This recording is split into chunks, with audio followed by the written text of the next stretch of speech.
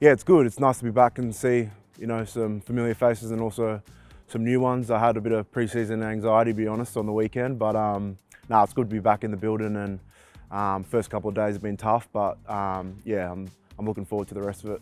I think the boys have, you know, the boys that have been here for quite a bit have already, you know, made the new boys feel quite welcome. So um, I can definitely see most of them already, you know, have their personalities out there and it's good to see, um, yeah, just a couple new faces around the building and them being themselves.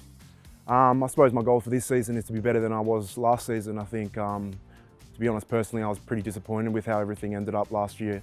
Um, you know, for the club, and I think the players took a lot of responsibility for that. And um, I think we've just got to trim what happened last year, and um, you know, look to improve on it this year and play to our potential. So for me, my main goals this year is to have a successful year at club and um, yeah, just build on the things that we already had at the club, and you know try and push for um, to play late in late in the season.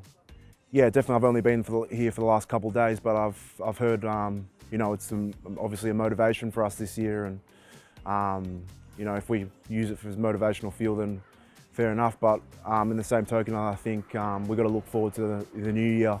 Um, obviously, it's a different environment this year with new coaching staff and stuff like that, and try and take it in our stride and do everything that we can to have a successful year.